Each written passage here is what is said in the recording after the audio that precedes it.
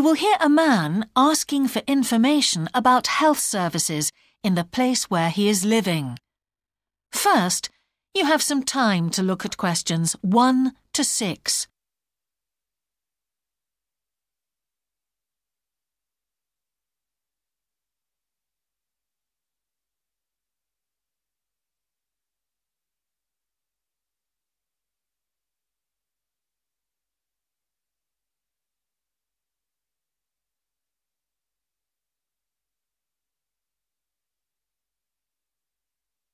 You will see that there is an example that has been done for you. On this occasion only, the conversation relating to this will be played first.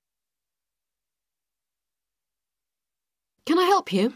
Yes, I've just moved to this area with my wife and children, and I'd like to know where we can all register with a doctor at a health centre. Oh, OK. Uh, well, there's Dr. Green at the Harvey Clinic.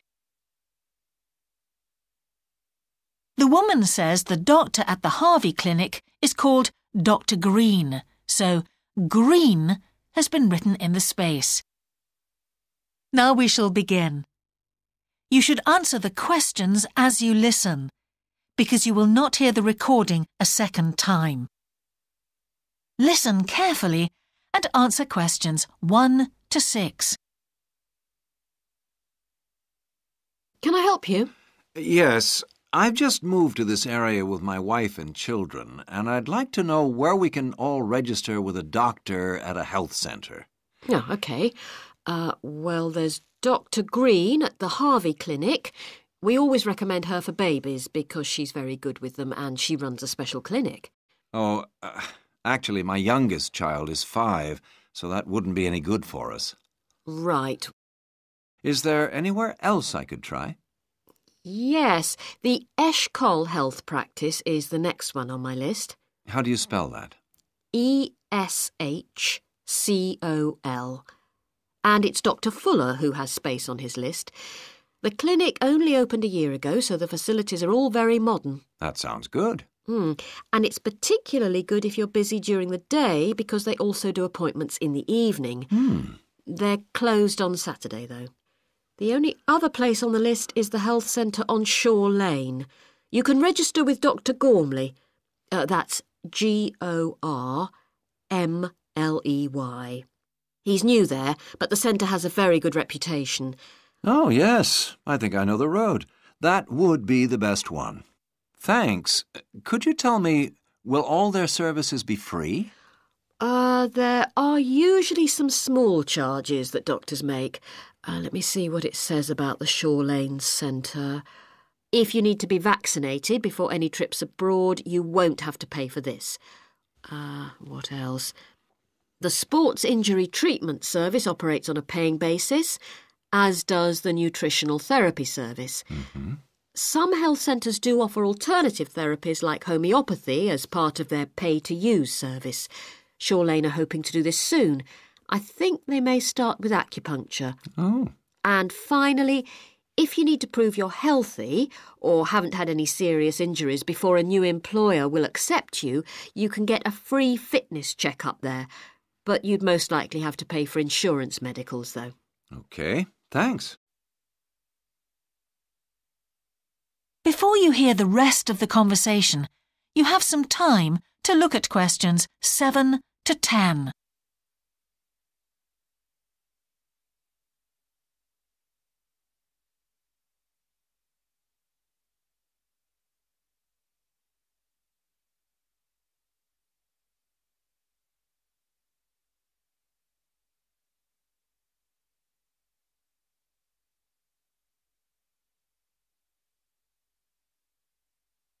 Now listen and answer questions 7 to 10. You might also be interested to know the centre is running a pilot scheme of talks for patients. I've got the list here. Actually, they look very interesting. What sort of things? Well, the first one's about giving up smoking. It's next week, the 25th of February at 7 pm, and that's in room 4. It says the talk will stress the health benefits, particularly for people with asthma or heart disease. That sounds very interesting. There's also a talk for families with children. It's on healthy eating and takes place on the 1st of March at 5 o'clock. Will that be at the health centre? Um, actually, it's at the primary school on Shore Lane. I imagine they're inviting the parents of pupils there. It says here, all welcome. Hmm. I might go to that if I have time. There's a couple of other talks. One giving advice about how to avoid injuries while doing exercise. Mm-hmm. It's on the 9th of March. Oh, it's a late afternoon talk at 4:30 and it'll be in room 6. It also says the talk is suitable for all ages. And finally there's a talk called Stress Management which is on the That is the end of section one. You now have half a minute to check your answers.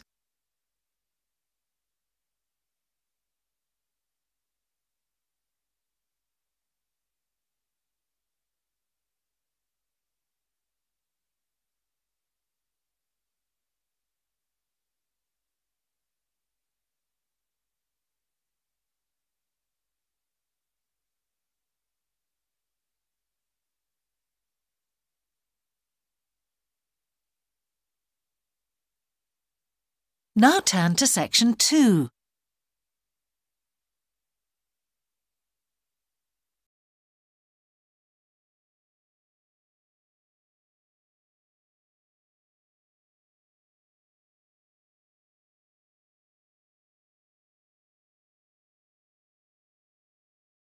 Section 2 You will hear a man who owns a holiday home talking on the phone to a woman who is staying there. First, you have some time to look at questions 11 to 13.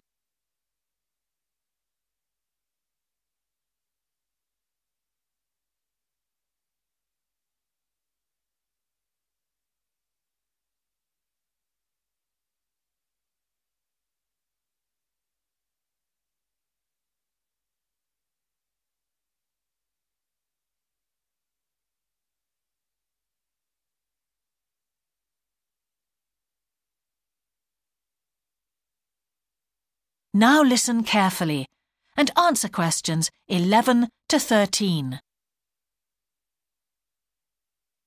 Hello? Hi, it's Laura Carlton here. We've just arrived at the holiday flat, but I can't get the hot water and heating to work. Oh, right. That's easy. Don't worry. In the upstairs cupboard, you'll find the water heater. You'll see three main controls on the left at the bottom of the heater. The first one, the round one on the far left, is the most important one for the heating and hot water. It's the main control switch. Make sure it's in the on position. The switch itself doesn't light up, but the little square below will be black if the switch is off. That's probably what's happened. It's got switched off by mistake. The middle one of these three controls, you'll see it's slightly larger than the first one, controls the radiators.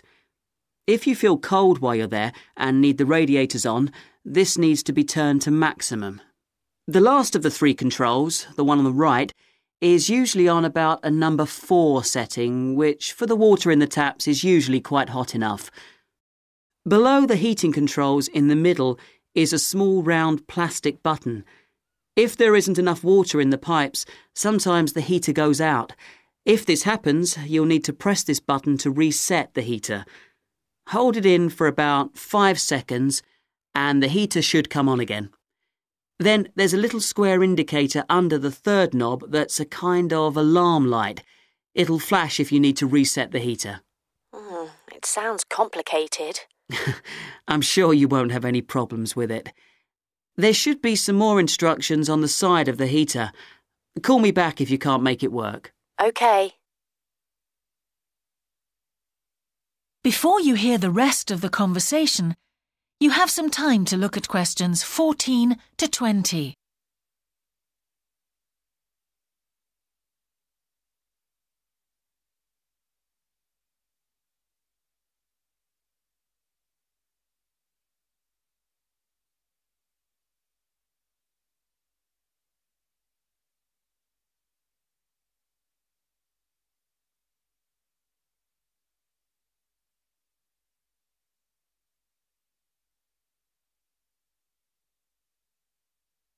Now listen and answer questions 14 to 20.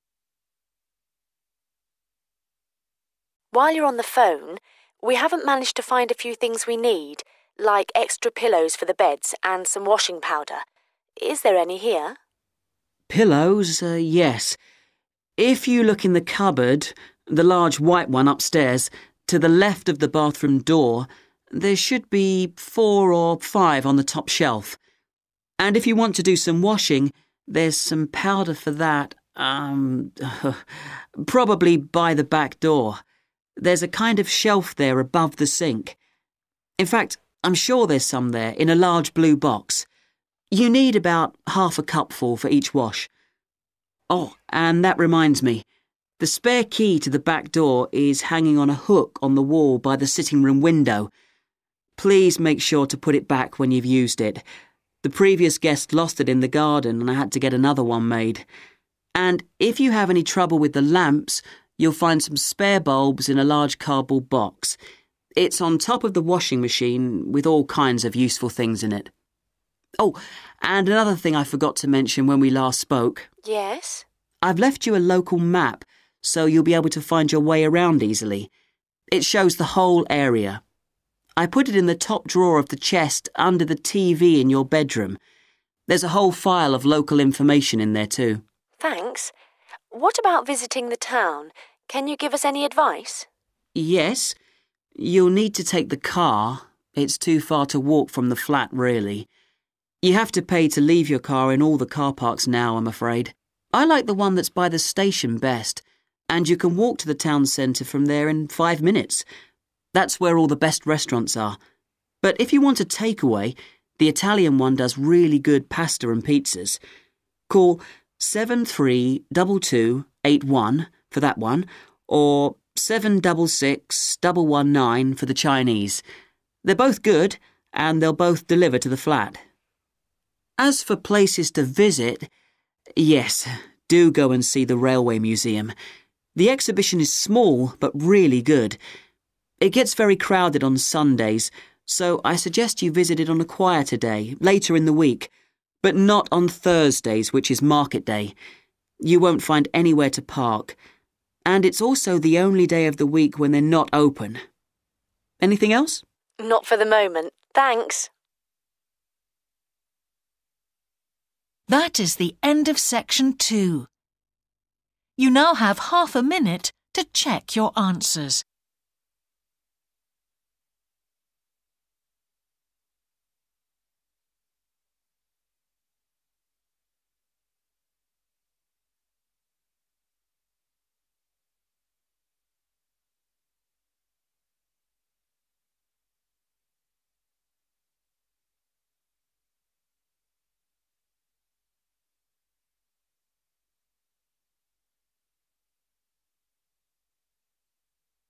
Now turn to section 3.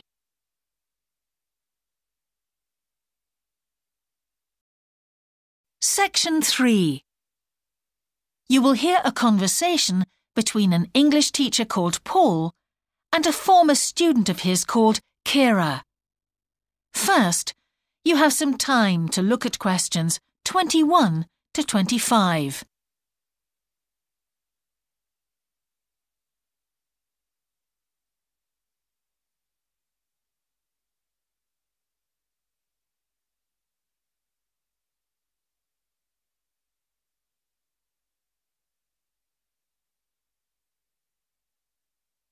Now listen carefully and answer questions 21 to 25.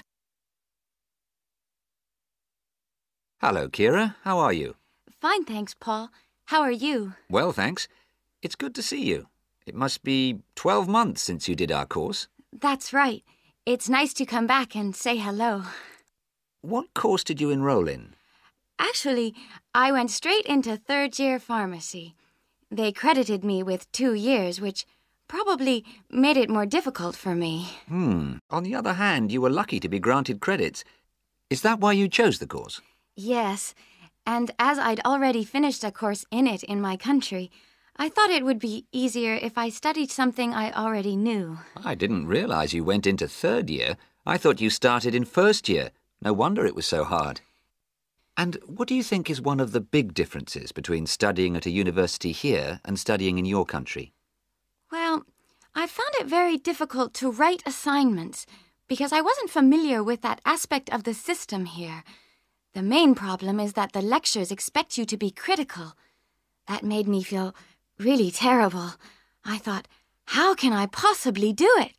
How can I comment on someone else's research when they probably spent five years doing it? I think a lot of people who come from overseas countries have similar problems. But after a while, it became easier for me.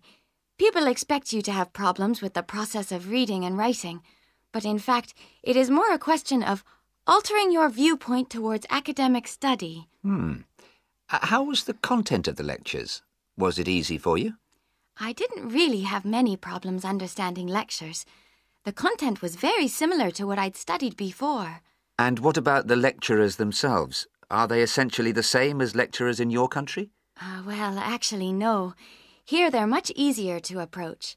After every lecture, you can go and ask them something you didn't understand, or you can make an appointment and talk to them about anything in the course. Maybe you found them different because you're a more mature student now, whereas when you were studying in your country, you were younger and not so assertive. No, I don't think that's the difference. Hmm. Most of the students here do it.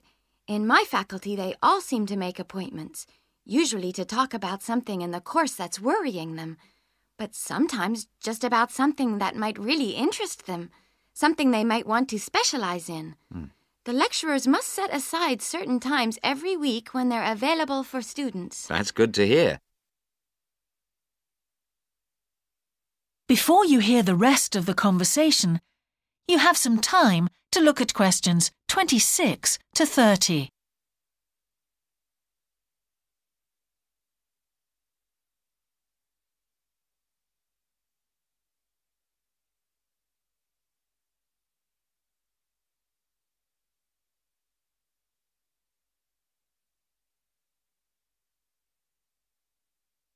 Now listen and answer questions 26 to 30. And how was your timetable? Was it a very busy year? Oh, very, very busy. They make you work very hard. Apart from lectures, we had practical sessions in a lot of subjects. We did these in small groups. I had to go and work four hours every week in a community pharmacy. Hmm. Actually, I enjoyed this very much, meeting new people all the time. Then in second semester, we had to get experience in hospital dispensaries. So every second day we went to one of the big hospitals and worked there. And on top of all that, we had our assignments, which took me a lot of time. Oh, I nearly forgot. Between first and second semesters, we had to work full time for two weeks in a hospital. That does sound a very heavy year. So, are you pleased now that you did it? Do you feel some sense of achievement? Yeah, I do feel much more confident, which I suppose is the most important thing. And have you got any recommendations for people who are studying from overseas? Well, I suppose they need very good English. It would be much better if they spent more time learning English before they enter the university, because you can be in big trouble if you don't understand what people are saying and you haven't got time to translate. Hmm. Uh, anything else? Well, as I said before, the biggest problem for me was lack of familiarity with the education system here. It sounds as if it was a real challenge. Congratulations, Kira. Mm, Thanks, Paul. That is the end of section three. You now have half a minute to check your answers.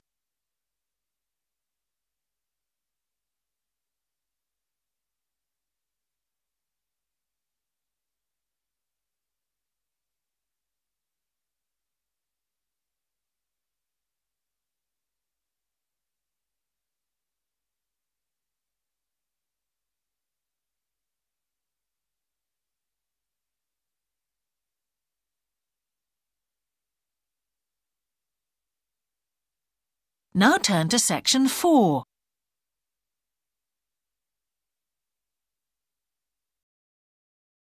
Section 4. You will hear a talk about a project on the wildlife found in city gardens in Britain. First, you have some time to look at questions 31 to 40.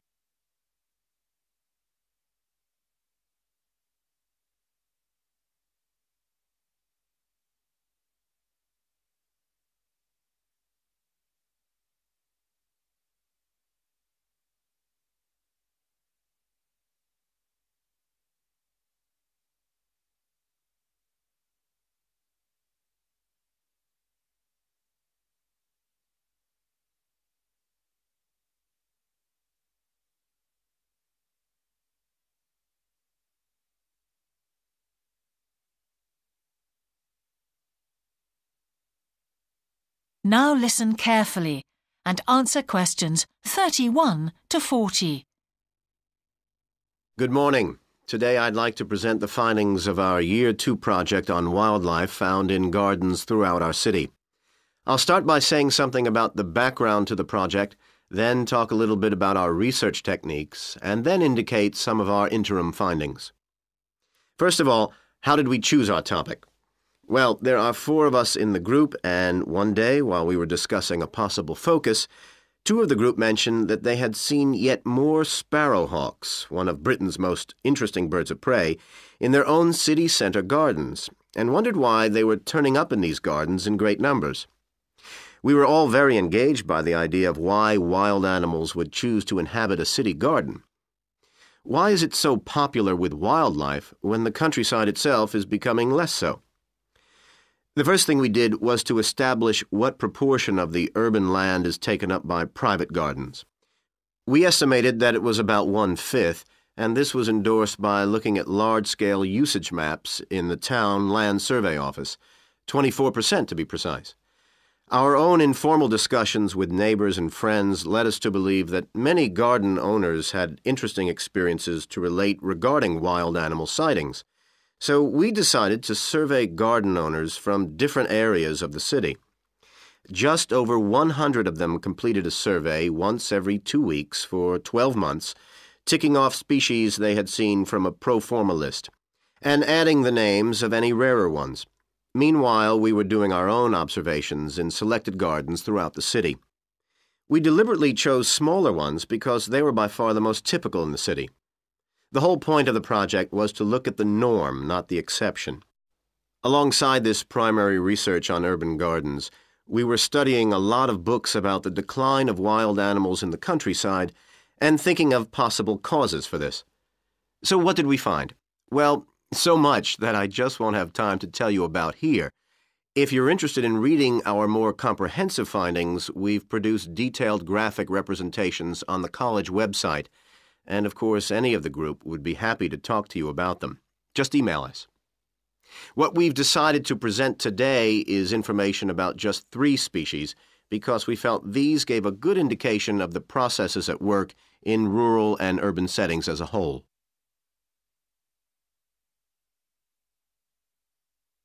The first species to generate a lot of interesting information was frogs, and there was a clear pattern here. They proliferate where there is suitable water. Garden ponds are on the increase. Rural ponds are disappearing, leading to massive migration to the towns. Hedgehogs are also finding it easier to live in urban areas, this time because their predators are not finding it quite so attractive to leave their rural environment, so hedgehogs have a better survival rate in cities. We had lots of sightings, so all in all, we had no difficulties with our efforts to count their numbers precisely. Our final species is the finest of bird singers, the song thrush. On the decline in the countryside, they are experiencing a resurgence in urban gardens because these days gardeners are buying lots of different plants, which means there's an extensive range of seeds around, which is what they feed on. Another factor is the provision of nesting places, which is actually better in gardens than the countryside. Hard to believe it, but it's true. Incidentally, we discovered that a massive new survey on song thrushes is about to be launched, so you should keep an eye open for that. Now, I'd be happy to answer any questions you may have. That is the end of section four. You now have half a minute to check your answers.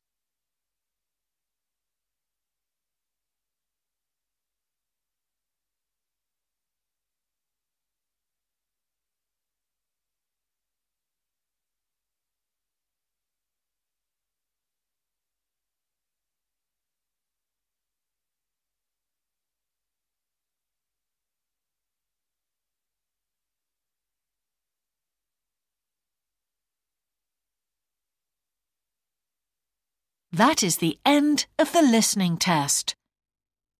In the IELTS test, you would now have 10 minutes to transfer your answers to the answer sheet.